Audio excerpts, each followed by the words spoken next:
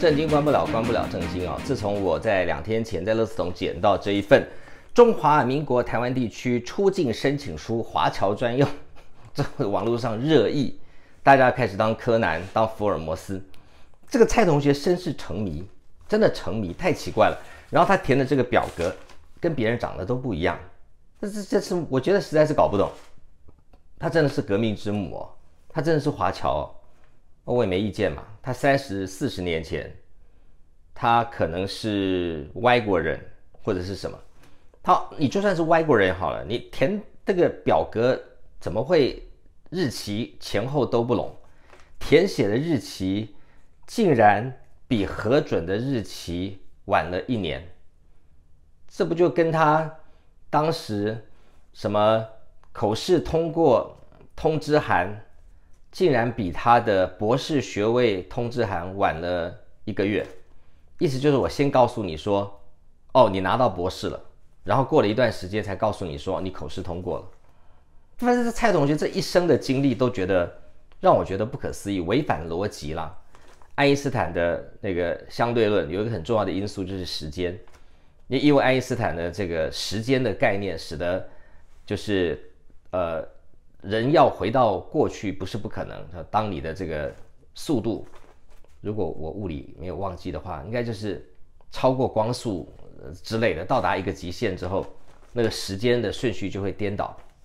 所以我觉得蔡同学应该是，呃，如果爱因斯坦是一个理论物理学家，那蔡同学应该算是一个实验物理学家。他把这个时光倒转的。这样的理论完全从他的人生当中给实践，所以我捡到这一份这个所谓的呃出再出境申请书，我下巴都掉下来了。我这这不可思议的事情。好了，讲到这个哦，就让我去想到那个神秘的1983年嘛，蔡同学的神秘的1983年。所以我手上有一张我跟大家说过的入出境资料查询名册，这份是去年十二月我们透过律师。去跟姚念慈法官、台北地方法院法官说：“哎，我们需要一份蔡英文的这个一九八三年当年的入出境资料。为什么要这么说？因为，呃，蔡同学曾经说过，姐姐特地飞来英国伦敦陪我参加口试嘛。虽然后来被踢爆说那里是波士顿，不是伦敦，可是他又透过这个英国伦敦政经学院有一个这个什么 retroguire 什么，这不突突然说蔡同学的。”口试是一九八三年十月十六号，后来查到说一九八三年十月十六号是礼拜天。自从本节目揭穿它是礼拜天以后，我们再去英国伦敦政经学院或者伦敦大学查询问所有有关蔡同学的口试日期的时候，他们都说 October nineteen eighty three，他再也不敢说哪一天了。哼，有趣吧？好，他再也不敢说哪一天了。那那个连元龙律师更好笑。偷偷递了个状给台北地检署、台北地方法院，说他的这个口试日期应该是十月十七号，应该是礼拜一，就跟那个偷偷把网络上那个姐姐特地飞来伦敦陪我参加口试一样，改成姐姐蔡英林与我合影，可以证明什么？证明 bingo 了嘛？证明被我们抓包了，所以他才要改嘛？好，另外还有一个为证物啊，假设我们调的这个入出境资料查询都是对的。假设是对的，因为他这个表格跟正常人的不一样，是另外打过的。那么这里面说明了一件事情：蔡英文跟蔡英林都在一九八三年十月十五号出境，十月三十号入境，出国了十六天，到底去哪里呢？这个我们待会再谈。他们两个同一天从。那个时候叫中正机场，一九八三年十月十五号，两个一起出境，那怎么可能是姐姐特地飞来伦敦陪我呢？因为他原本的口试，他原本的照片上面的图说说博士口试，姐姐特地飞来伦敦陪我，姐姐飞来伦敦陪我，意思就是我在伦敦，姐姐不在伦敦，从某一个地方飞过来。好，这是文法嘛？姐姐飞来伦敦陪我，可是他提供的出境资料明明两个人一九八三年十月十五号同时出境，至于出境哪里我不知道。好了，问题来了，我们向台北地方法院要求调阅资料是要要求三件事情哦。第一个就是一九八二、一九八三、一九八四这三年蔡英文跟蔡依林的出境资料，这是第一个。第二个，出去哪里，目的地在哪里？第三个，中转地在哪里？我们问的很详细，因为我们知道一九八三年没有直飞伦敦的班机，所以我们要问哪一天出境，到哪里，中转地是哪里？我们问了三个问题，后面两个问题完全没有回答。然后我们再去函台北地方法院，要求说：哎，我们上次要求查询的资料，就是我们要的物证。问了三个问题，你怎么只给了我一个答案？然后就退庭后核办，然后就不经拘提直接通气，因为接下来不知道该说什么。这就是我们碰到的怪事。好。今天呢，我觉得我还要再来公布一下，就是我要再来重新温故知新一下蔡同学的这一份，就是另外一份乐视龙捡到，就是蔡英林的中华民国台湾地区出境申请书。好，这下来了哦，他的这一份申请书跟蔡英文的有什么地方不一样呢？他们两个都是同一个时间左右申请的嘛？如果就这个内政部入出境管理局给我们的这个资料，移民署给的资料，他们两个是搭同一个班机出去的吧？一九八三年十月十五号，两姐妹同时出境嘛，对不对？十月三十号同时入境，那他们两个应该申请的是同一个时间申请的，应该不会是差好几年嘛？应该就是差同一个时间前后了不起差几个星期或几天申请，所以他们两个申请的表格应该长得一模一样。我这个逻辑，同学同意吧？各位同学同意吧？她们两姐妹同一天出境，同一天出境的话，她们去申请出境的表格应该长得一样，对不对？大家听懂我说的吗？你们两个同一天申请出境，同一天出境，那你们两个同时申请表格应该是长得一样。听懂的、认同的，请加一。你顶下都共马该，共马该，共共马该。我卡里马森听阿伯的，请加二。结果。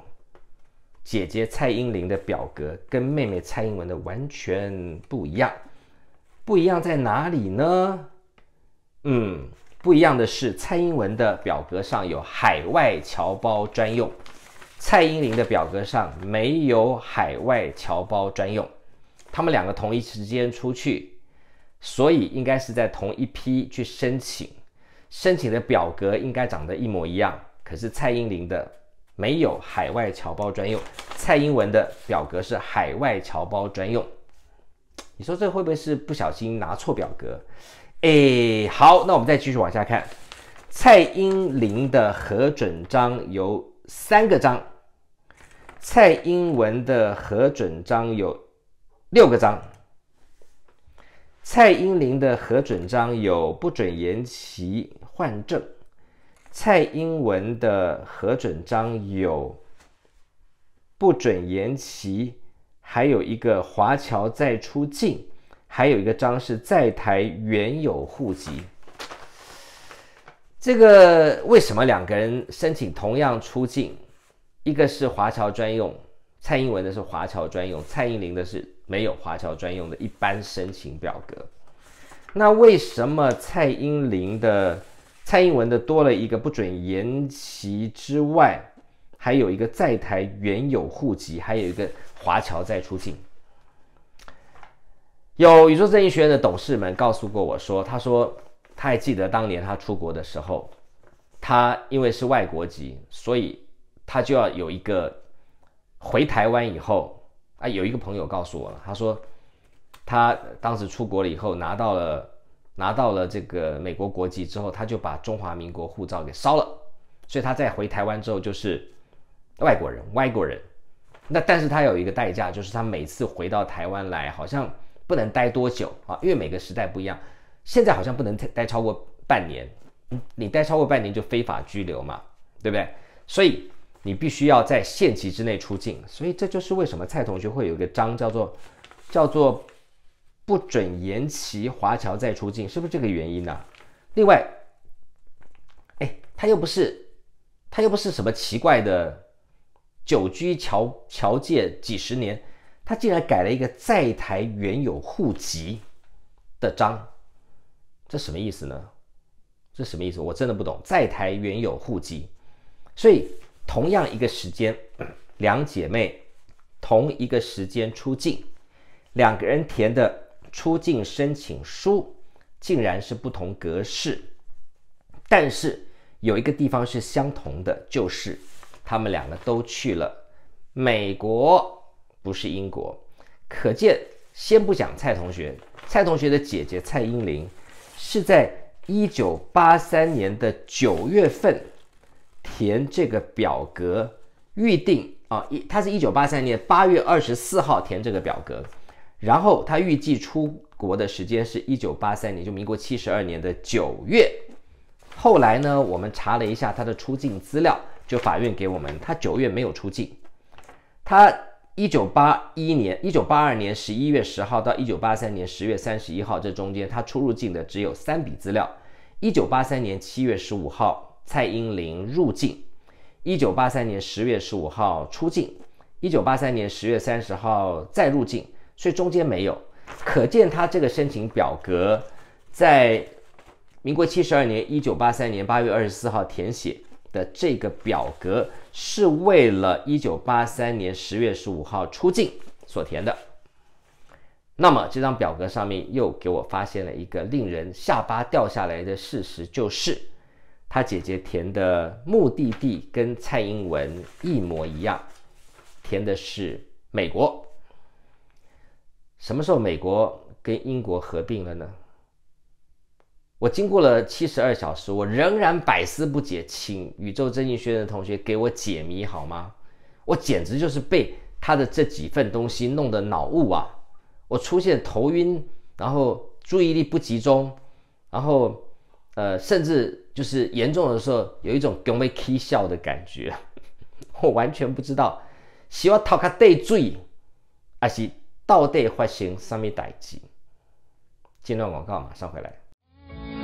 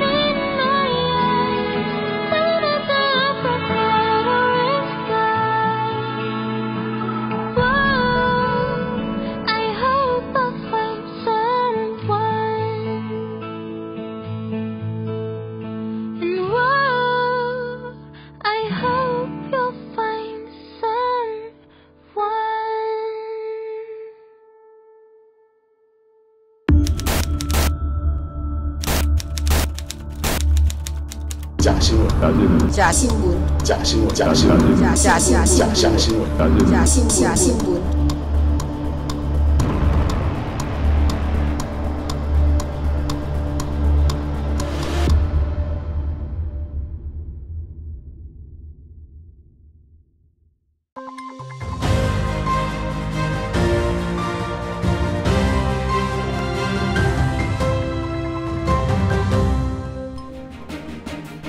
关不了，关不了，震惊。有一个关键日期，到现在英国伦敦大学跟英国伦敦政经学院，包括犯罪集团，真的不知道怎么面对。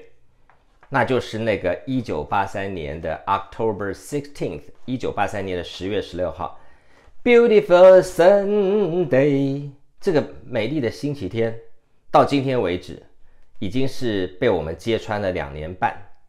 整个犯罪集团完全不敢解释为什么这一场神秘的口试会发生在星期天，连英国伦敦大学跟政经学院都避而不提。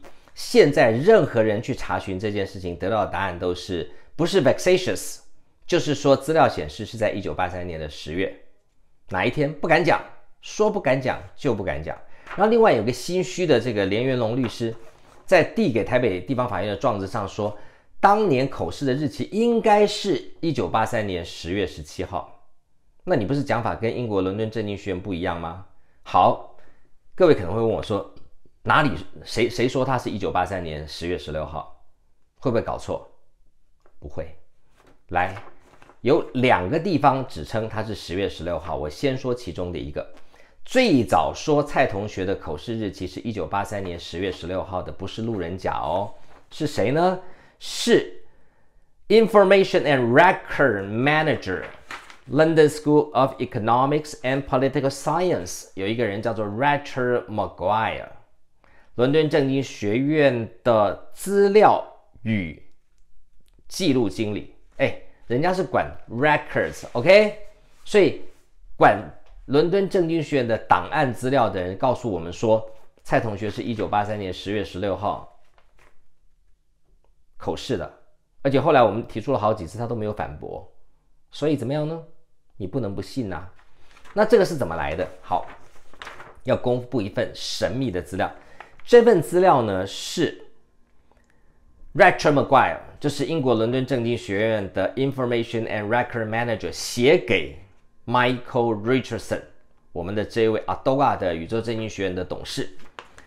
这封信呢是 From GLPD information right，就是说，Michael Richardson 透过一个呃所谓的 GLPD 的查询的管道，去跟英国伦敦政经学院查日期是什么时候呢？很重要，二零一九年十月二十一号星期六早上两点零三分，因为 Michael Richardson 在的时区跟呃伦敦是不一样的，所以这封信是这样子的。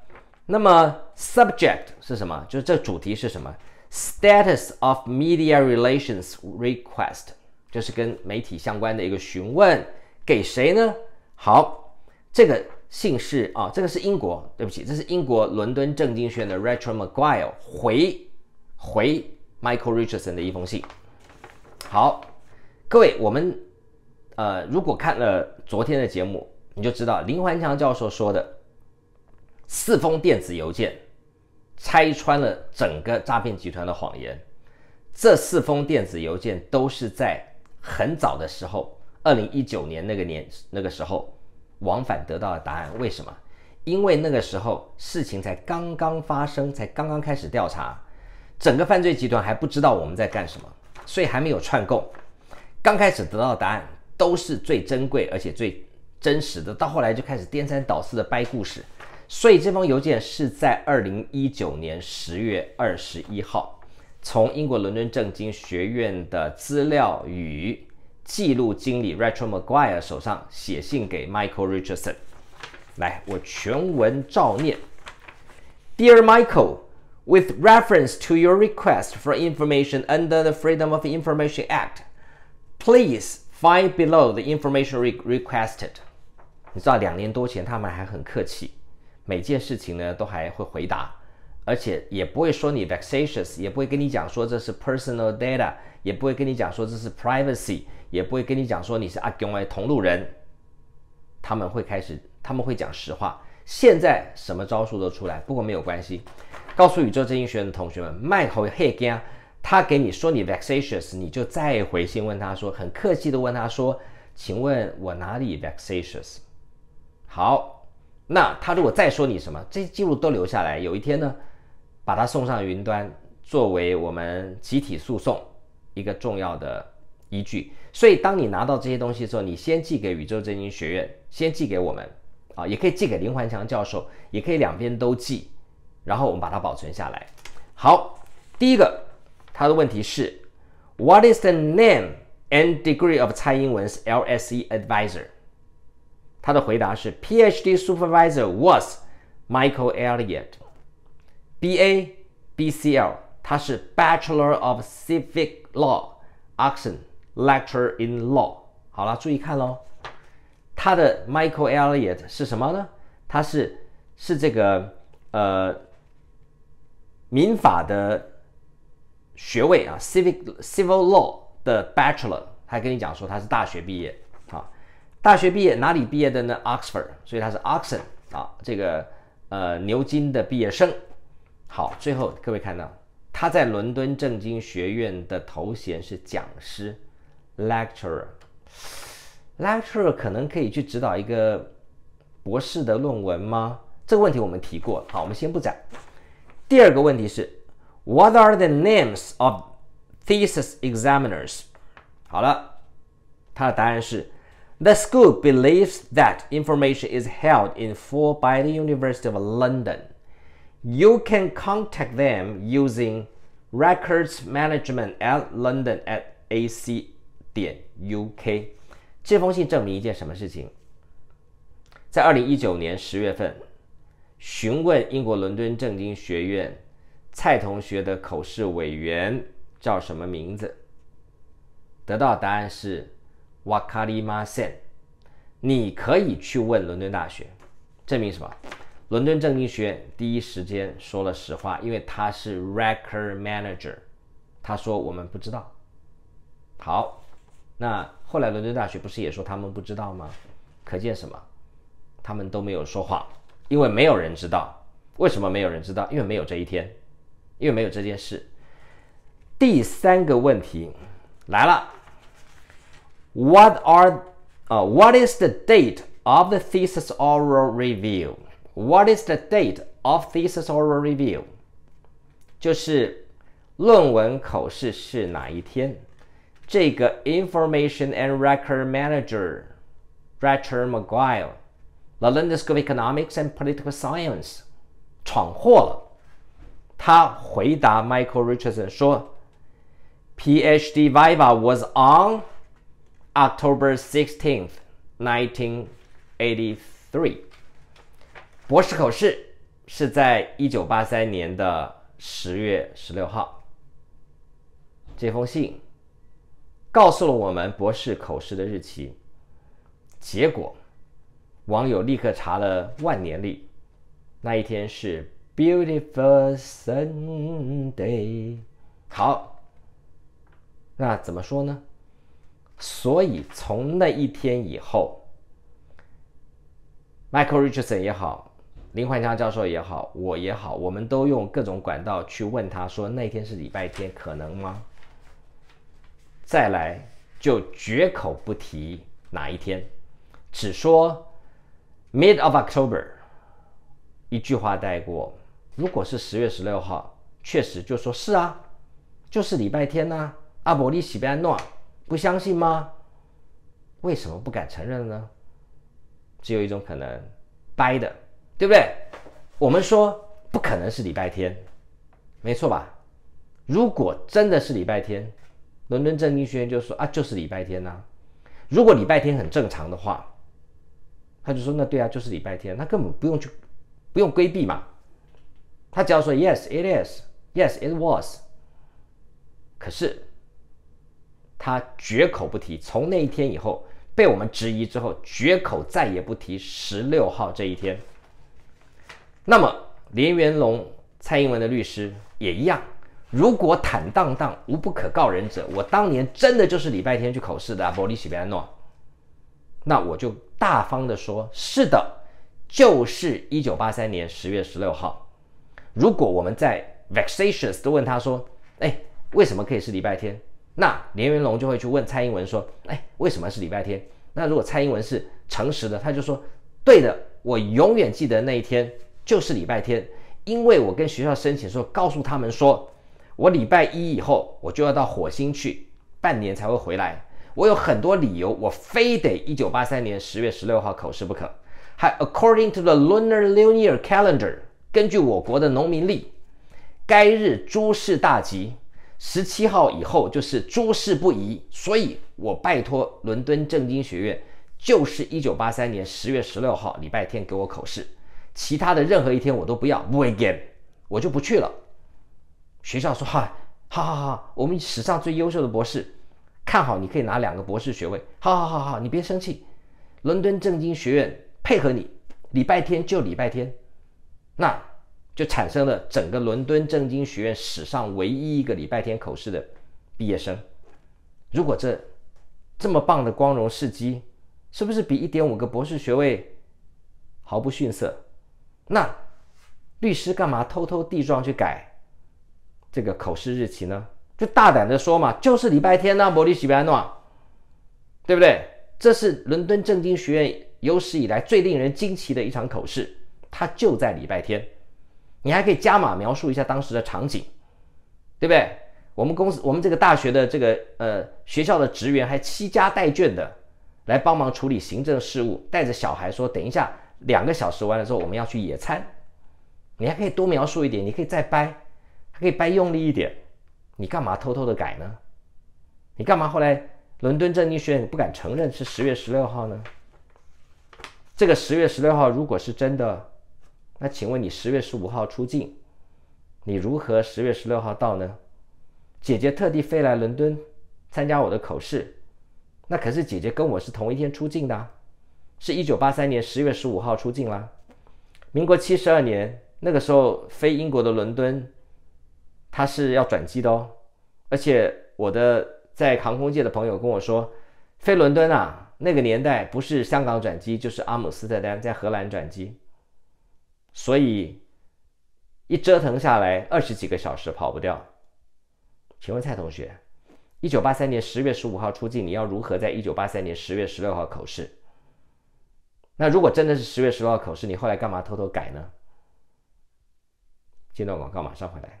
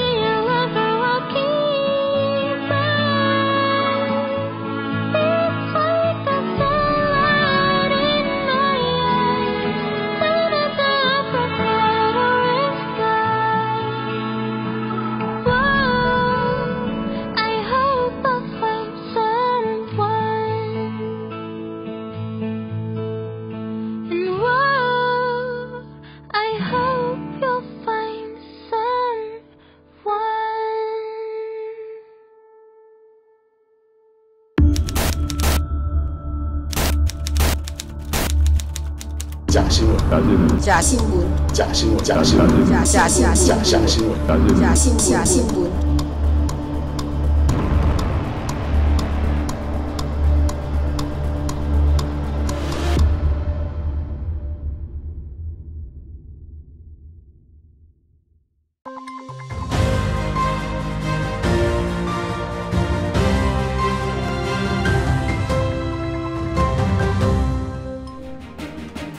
正经关不了，关不了正经。我们一直在讨论蔡同学在一九八三年那个荒唐的行事历，他真的有本尊有分身呢。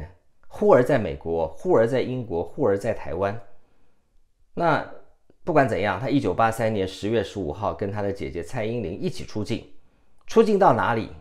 法院不肯告诉我们，这个入出境管理局不肯讲。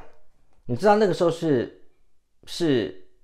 出境是管制的，是要申请的，要填申请书的，所以他写个美国，他可能说我我我申请美国，然后临时决定要去英国，可以这样吗？那出境会没有机票吗？会不知道到哪里吗？那为什么不肯给我们？到底哪里见不得人？当我们的律师再去函问的时候，我就被通缉了。好，接下来可能我的两个律师要被通缉了。好。那你刚刚说那十月十六号哪来的？就是我们刚才看嘛，在二零一九年十月三十号，Richard Maguire，英国的 Information and Record Manager，London School of Economics and Political Science，这个所谓的讯息跟记录经理就已经回复了十月十六号，一九八三年。那这个日期到底对不对呢？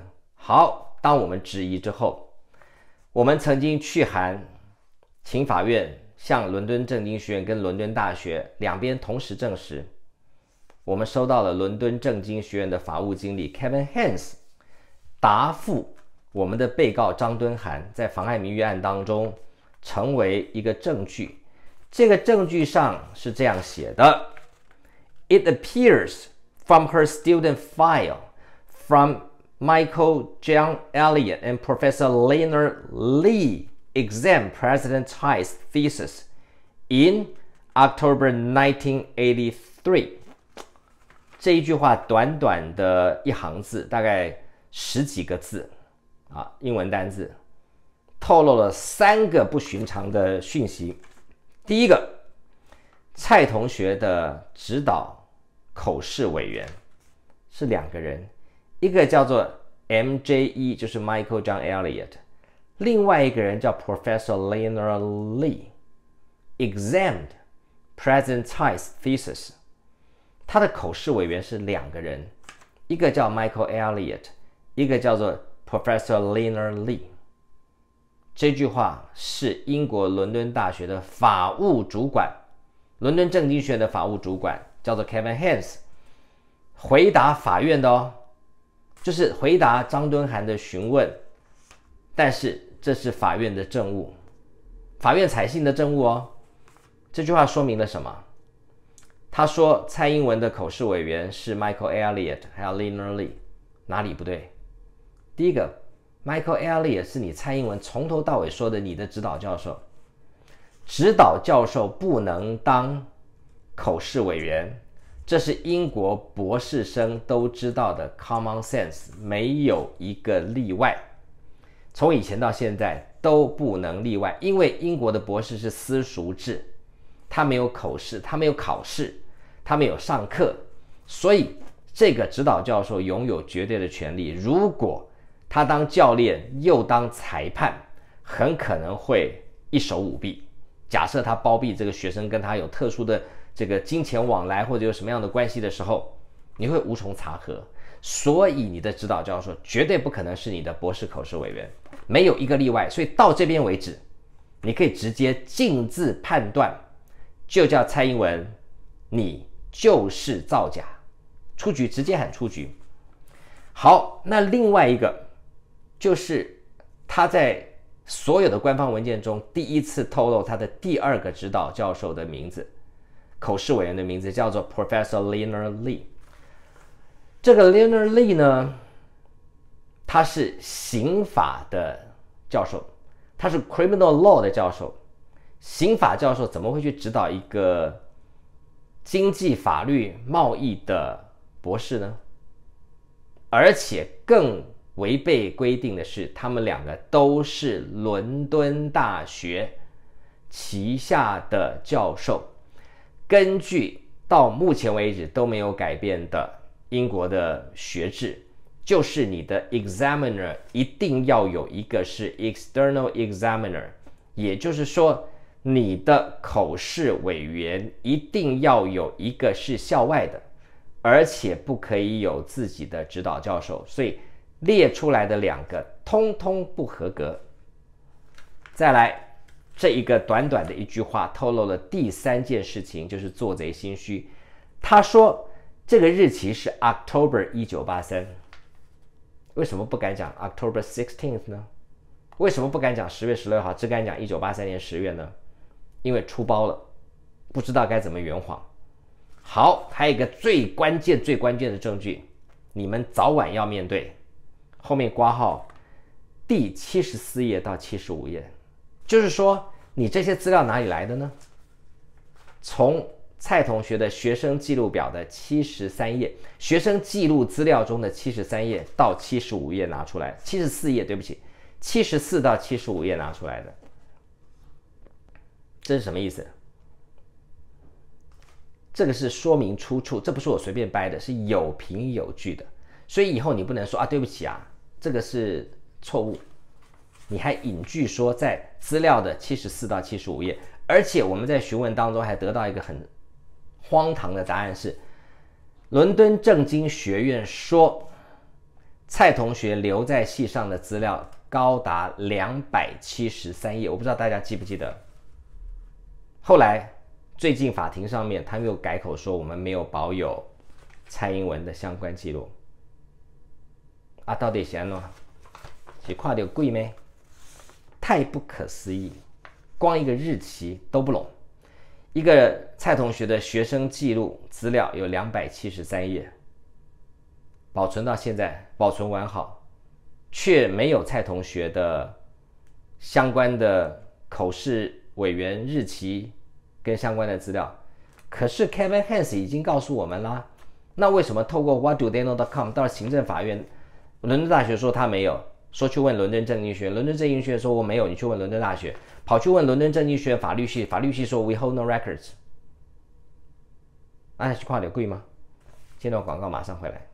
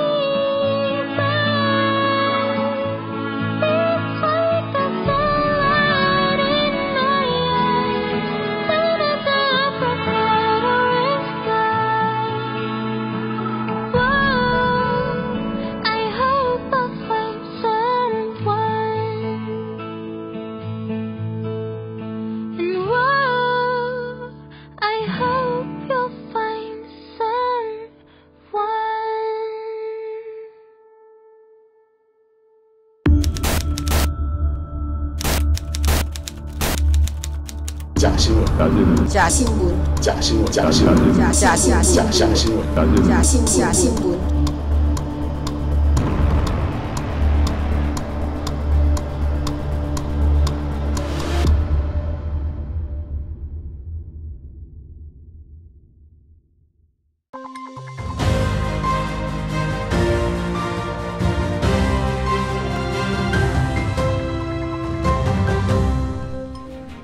正经关不了，关不了正经。听说这几天在台湾寒流来袭，气温骤降，所以我就想到了我们为了生计福利社，我们最近呢推出的这个帽子跟围巾，我好一阵子忘记了，忘记告诉大家说我们有一个很好的产品。那我们盘点了一下，还有一些库存，所以呃，为了生计福利社推出，就是我现在这个围巾跟帽子。好，我们来看看这个为了生计福利社。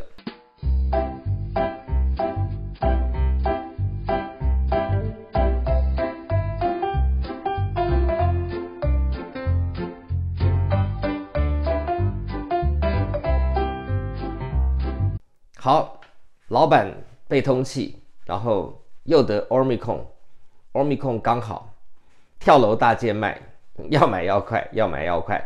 我们的为了生计福利社推出来的这个围巾，还有毛线的帽子，一共一四五零，这是我们的均衣价。那我们推出这个商品，大家可以来一四五零购物网了解一下。好的，我们接下来呢要回答一个一四五零，还有包括呃冯光远，还有很多我们这个朋友都说，那伦敦大学说了不算，那你要谁说了算？这是个好问题啊。伦敦大学是个一流的学校，这毫无疑问，一点怀疑都没有。但是，一流学校就一定不会有人在里面动手脚吗？或者是说，一流学校就不会有系统性的舞弊的事情吗？我看这倒也未必。有一篇文章跟大家分享，这是台湾师范大学的教授夏学礼，他的一篇文章叫做《海纳百川》。大学牟利之后，假的变真的。这篇文章跟大家分享，因为我觉得它还蛮有，嗯，不是针对哪一个个案，也不是针对蔡同学，而是我们去思考一件事情。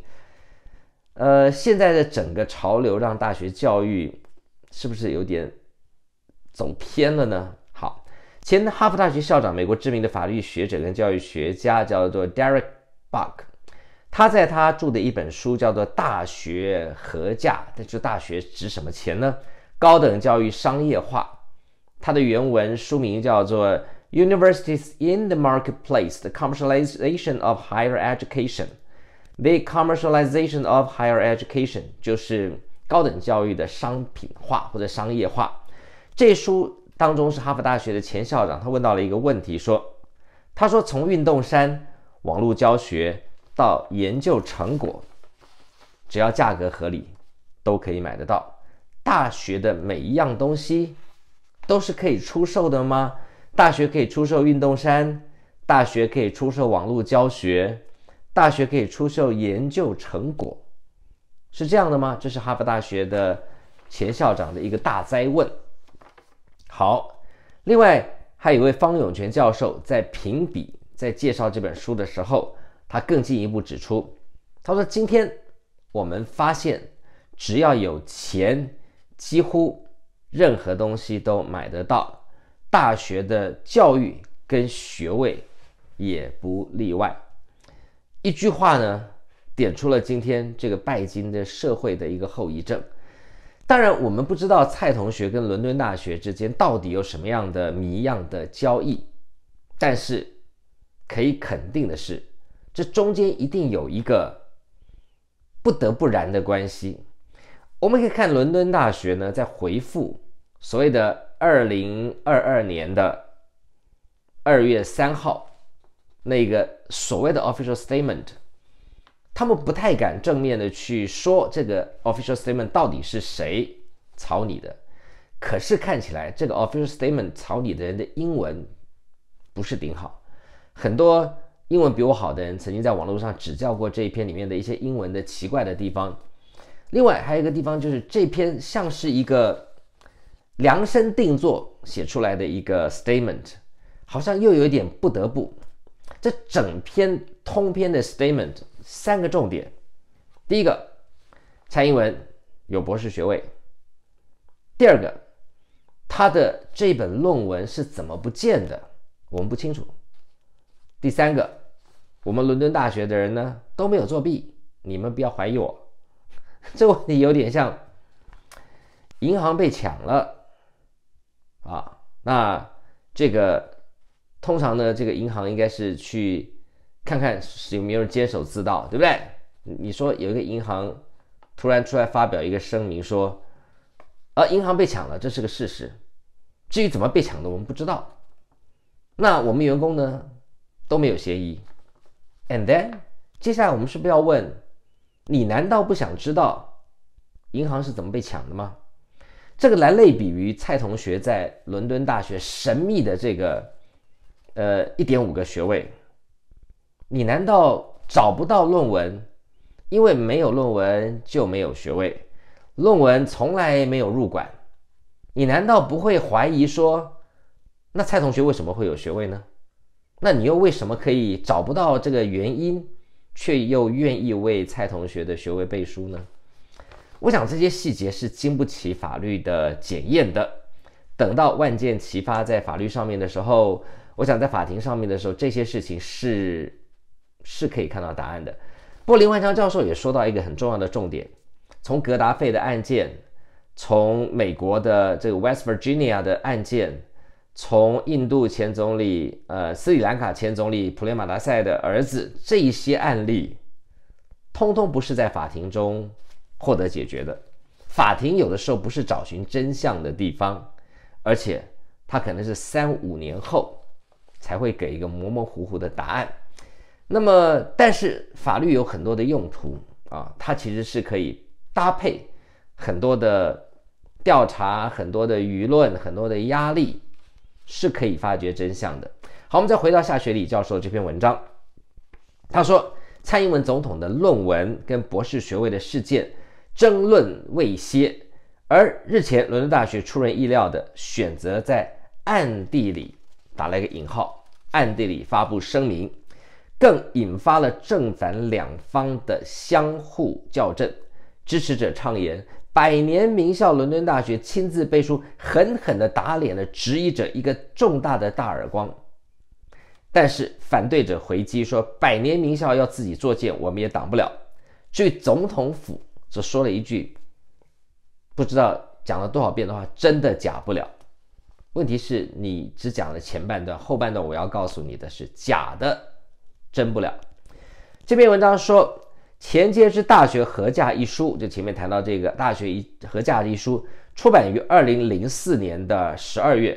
简单的说，这个博客是在剖析了二十一世纪前后的一些美国大学的现象，他们如何从这个体育活动、科学研究、推广的教育当中牟利的这件事情。前哈佛大学校长伯克 （Bog） 很感慨地说：“牟利对大学的核心学术价值产生了不良的影响，大学应该严肃地面对这个话题，去挽回这个体系当中的问题。”哈佛大学的前校长 Bog 他说：“他感叹在他的书里面说，大学在金钱诱惑下积极的盈利，不断在基本学术价值上面妥协。”后退，强害了大学的重要使命。对这种寒凉景况，前哈佛大学的校长伯克振臂疾呼。他说：“只有那些能力够强，可以强力捍卫学术价值，即使因为丧失裁员也在所不惜的大学，才能够赢得公众的信任，并博得教授与学生的拥戴。”讲到这个很有趣，今天伦敦大学呢，如果还继续藏着，我们在伦敦有很多事情很难做，因为我们告诉大家这个故事，别人会说啊，把那那一起攻击那样给好。当伦敦大学发布了这个所谓的官方声明之后，很简单嘛，我们从现在开始，宇宙真音学院在海外的同学大规模的做公关跟推广，各位宇宙正义学院同学，我们其实可以，呃，不知道你的名和姓，我们也不曾谋面，但大家为了公平正义，可以一起做一件事情，就是把那个伦敦大学的公开声明寄去给你所知道的媒体，寄去给你所知道的呃教育机构、学校、西方的一些你认识的单位啊，或者是一些呃人权团体也好，一些呃法律的知名的这些机构团体，还有社会的公平正义、道德重整，不管反正你想到的，你都可以寄给他们，然后你就问一句话说 “What had happened？” 这到底怎么回事？其实就好了，一句话就好了，然后寄给他说，哎，就跟跟等于是跟这个你的朋友去 share 这篇文章。我说过，一个有新闻鼻的新闻记者，一看到这个声明，一定觉得怪，怎么会一个学校对于一个学生，他的论文从来没有送入图书馆，表现的这么冷漠，这么不关心，这么事不关己，只说 it remains unclear。他仍然不知道为什么这个论文会没有进来。那这个论文没有进来，你怎么不会去调查呢？你不调查，你怎么知道蔡同学有博士学位呢？你不会怀疑说没有论文哪来的博士学位吗？一个百年名校，一点好奇都没有，然后就积极撇清说我们的这个教职员工，哎，都都很诚信哦，哎，就我们没问题哦，这不是此地无银三百两吗？这不是好像一个嫌犯，警察才按门铃，他就说：“哎，来我们喜花台哦，来我们喜花台哦，哈，人不是我杀的哦。”警察才刚按门铃说：“哎，他就积极于表态。”好，这篇文章当中提到夏学礼教授，他提到说：“可惜世界顶尖名校接连的出现贩卖学历的争议，终于是这个让曾经呃任二十年哈佛大学校长的伯克大失所望。”二零一九年三月，美国司法部公布了一份长达两百零四页的起诉书。联邦检察官宣布，这是司法部有史以来最大规模的大学入学舞弊案。这个刑事案件涉及了有钱人假捐款、真行贿的司法问题。当时还记得吗？格达费的儿子 Zaid 格达费就是这样子，他的爸爸捐钱给他的教授。David Hell 换了儿子的安全过关。再来，这个在美国发生的事情，涉案的人横跨了演艺界、金融界、学术界，其中还包括了很多教育机构的负责人、名校的体育教练，还有那些呃入学考试的 SAT、ACT 的入学考试的人员。他们先后对于 Stanford、Yale、南加大。Texas Austin、UCLA 的名校，还有 Georgetown 这八所世界顶尖的学府行贿，涉嫌行贿的人高达五十三个人，犯罪总金额超过两千五百万美元，就是差不多七十亿台币。那么，呃，好啊，七亿台币啊，对不起，好。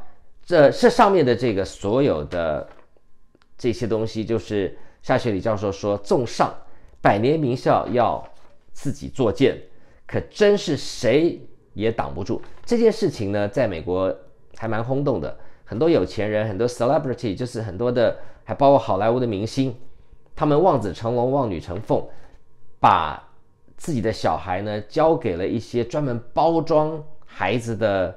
表现的一些公司，因为你知道，在美国不是靠一次考试定终身，他们没有什么职考啊，没有什么推甄，他们所有的东西都是类似推甄这样子，就是你要把你所有的综合的表现，呃，来这个提交作为一个申请书，那这中间就有很多造假的这个空间啊，有人呢去造假，说他是这个学校曲棍球的这个明星。结果这个人竟然不会冰上曲棍球，就是这孩子竟然连溜冰都不会，这是奇奇怪怪的事情一大堆。好，那么这个百年名校要自己作践，谁也挡不了。至于出自总统府的那一句话，夏学礼教授说，出自台湾总统府的那句话，真的假不了。曾经在这个有史以来最大规模的大学入学舞弊案，甚至感到震惊的伯克前校长，如果听到这句话，他可能他的反应会是：真的，假的不得了。这是台师大教授夏学礼所写的这篇文章。我想，今天震惊呃宇宙学震惊学院的同学们，我们之所以锲而不舍的追这个案子，是因为我们不相信这世界上权威说的话就一定对。所以呢，我们在完成不可能的任务。是的，我们是在完成不可能的任务，我们在挑战一个远超乎我们想象的巨大的弊案。这件事情终究，我们宇宙精英学院的同学一定会赢，我百分之百的确认，我们一定会赢。只是时间从去年我认为应该有一个转机，拖到今年，但我绝不相信蔡同学有本事拖过今年，因为我们手上拿的证据简直就是多到了，你随便放到那个做个签筒。把我们的证据编号，你随便抽出一个，大概就要破案了。现在的状况是大家都在装傻，不过没有关系，装睡的人叫不醒。有一样东西可以让装睡的人醒，他总不能永远睡吧？耐心等候，我相信公益一定会来，也许迟到，但是我觉得我们在拼的不是政治，我们不在乎。这些小手段，我们在乎的是永恒的价值。有一件事情我要跟大家做一个报告，就是二月二十六号，呃，这个张亚中教授在凯道，他现在本来他改到凯道上要办一个素环针的活动。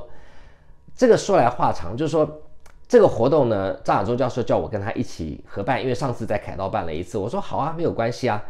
呃，虽然说他。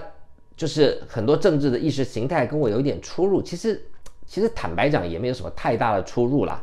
比方说他对孙文非常的崇拜，那呃也很有研究。那我就是高中开始我就很叛逆，我对于那种教条式的东西、三民主义什么，我就是不太爱念。然后我对这些所谓的伟人呢，我总是带着批判的色彩啊，那跟我的这个叛逆个性有关嘛。好，那。呃，大家对于这个历史的东西有些不同的角度的看法。那因为我本身也不是学文史的啊，我念物理、念新闻、念公共政策，我对于历史这件事情，我并没有很太多的史学方法研究的背景。那呃，最近因为二月二十六号要办这个素环针的活动，那刚好这个张亚中教授在这段期间，他对二二八事件他有他的一些看法，我觉得。很好，每一个人都应该要有一些思辨的能力啊，不要被为了，就是不要被强灌的一些，呃，不管是什么样的东西，我们就认为那一定不值得怀疑。这就是宋朝学者张载说的“余不一处有疑，方是敬矣”。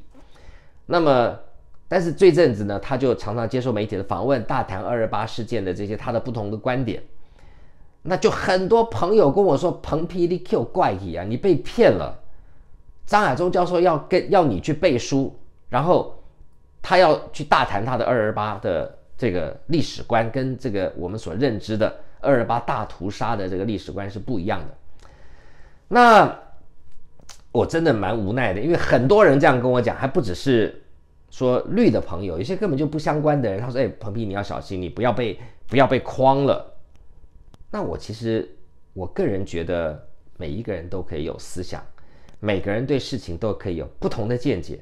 那你只要言之成理，你只要本于证据，呃，别人不接受也没有关系，因为地球是圆的，也很久很久都没有人接受。所以，我们对事情要保持一定的怀疑态度。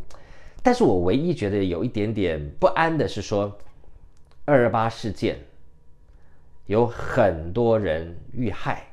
这是事实，而且这些人的孩子、孙子，很多人现在都还在找真相。也就是说，这是一个还没有愈合的社会的伤口。那究竟，呃，是怎么一回事？我觉得值得探究。但是，探究的背景跟呃方向绝对不是呃什么谁杀谁比较多的这种这种呃，我其实很不喜欢把它分成什么外省人杀本省人呐、本省人什么，这个我觉得在我眼里人就是人，OK？那呃，你一定要分，我我是说真的，呃，硬要分，外省人有很多好人，本省人也有很多好人，外省人也有坏人，本省人也有坏人。那在那个年代，呃，蒋介石因为非常怕匪谍，因为他在中国已经被匪谍整得七晕八素，所以在那个年代，任何人只要被构陷成为匪谍，都非常非常的惨。所以很多人公报私仇，就去到处乱检举。所以在那个白色恐怖时代，产生了很多这样的一个情况。再加上一九四五年，呃，一直以来啊，一直呃很多的台湾有很多的这个呃本地人跟外来的人之间一些冲突，所以导致了很多的呃不幸的事件。那当然，因为呃蒋介石来到台湾之后，高压的政策。再加上我们家也亲身经历过那个四万块换一万块，四万块换一块钱的那种经济政策，那个经济政策其实就跟抢劫没有两样嘛。各位想想看，如果你有四亿，用四万块换一块，你只剩下一万块，那当然会很多冲突跟民间的很多的不满，所以爆发了当时的这个二二八事件，它是有脉络的。那因为我不是史学家，我也我得到的东西也是极光片语啊，也是就是都是那种引书验说啦，呃，进程储物了哈，不是极光片语，引申引书验说，进程储物都是那些不完整的东西，所以我也不敢讲我知道的历史或者我被灌输的历史是对还是错，只是这件事情就刚好跟素环真这个活动。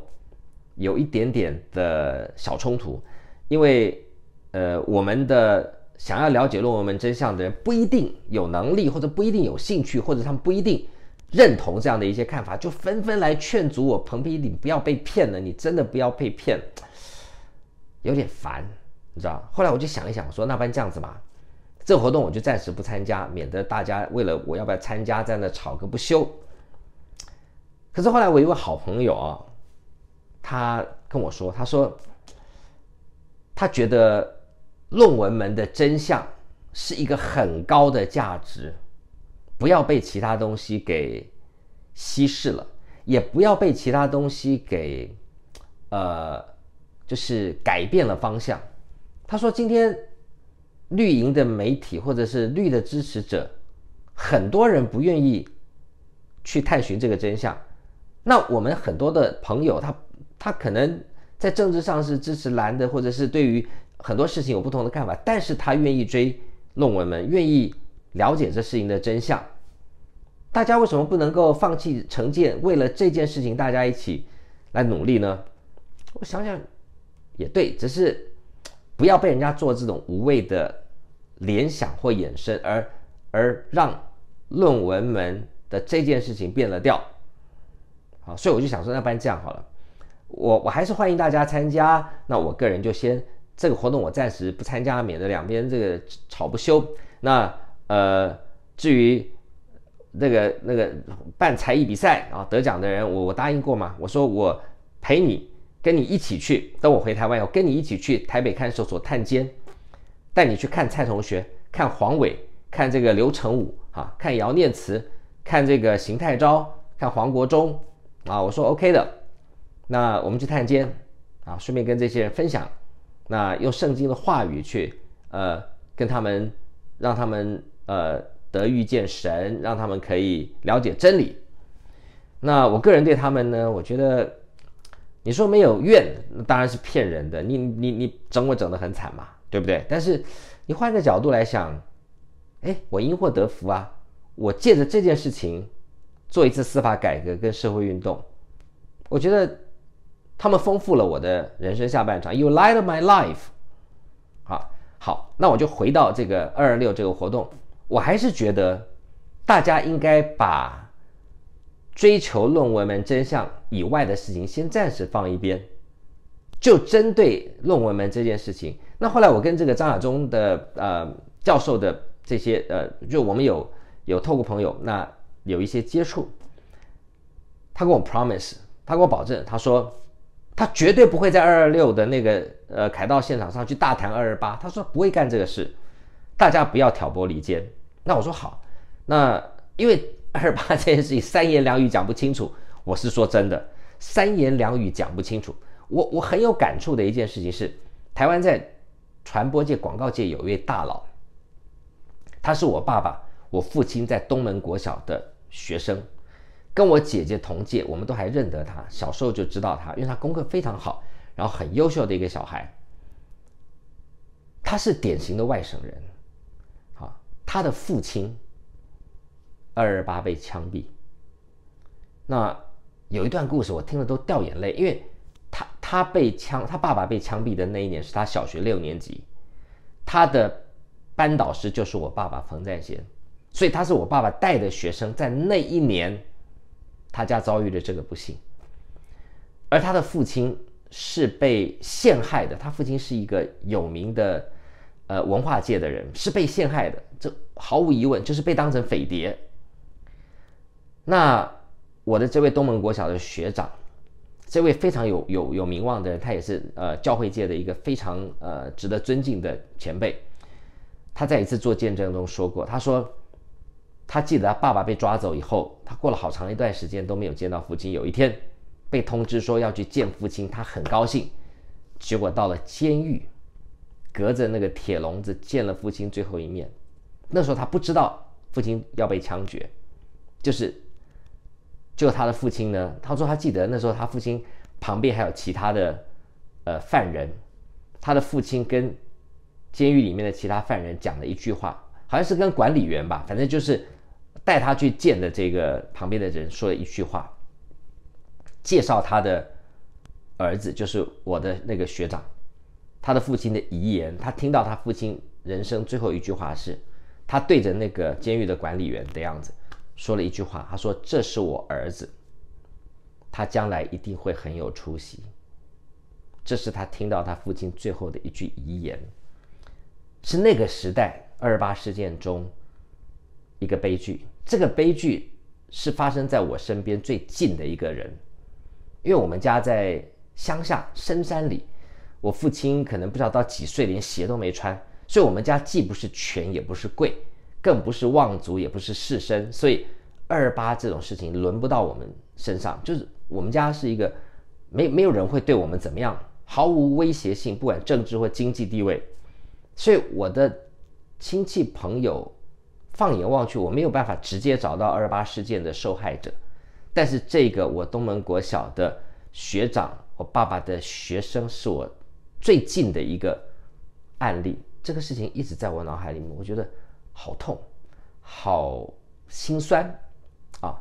不过，我觉得历史的伤痕要慢慢平复，可是历史的真相呢，却要努力的找寻。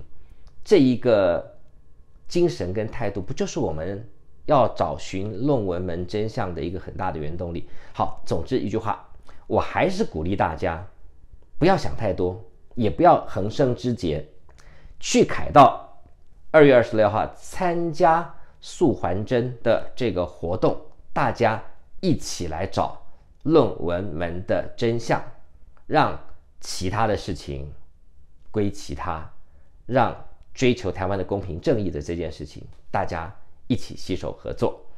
接下来呢，我要来看看 This is a note 又闹了什么奇怪的事情。我们要看到九十页啊，九十页。第二行，我们昨天不是讲到吗？你这个 Chapter One 的 One 竟然用手写。第二行第一个字，不管它是什么字，我想幼稚园的小朋友都知道，每一行的第一个字要怎么样？要大写啊！结果这一行呢，就是上面数来第二行 C S E E C，就是好，你要怎么？竟然给我写。小写，这个简直就是，我觉得这个程度应该是三宝幼稚园的英文考题的挑错题吧。一行的第一个字应该是大写。这位蔡同学给我写小写。好，又到了夜深人静的时刻，跟大家分享上帝的话语。今天要分享的是罗马书十四章第十七节：神的国不在乎吃喝，只在乎公义、和平，并圣灵中的喜乐。上帝的国度在乎的事情是公义、和平跟喜乐。祝大家平安喜乐，愉快的夜晚，明天见。